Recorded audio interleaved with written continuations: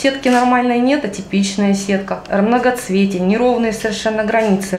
Вот так выглядит меланома на фото при дерматоскопии. Это современный метод ранней диагностики злокачественного образования кожи, который не требует специальной подготовки. Каждую родинку врач видит в 3D-измерении через своего рода современный микроскоп. Это образование абсолютно, абсолютно безопасное.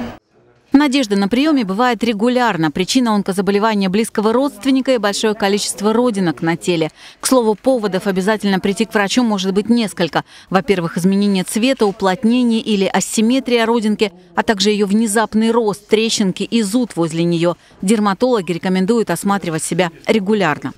Смотреть в труднодоступные места. Это половые органы, это подмышечные впадины. Волосистая часть головы тоже кожу нужно обязательно осматривать.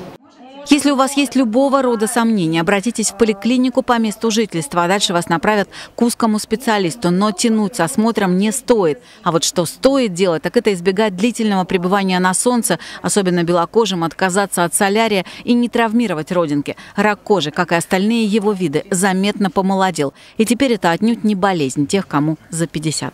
Татьяна Голубева, Андрей Печоркин. День с толком работаю и тоже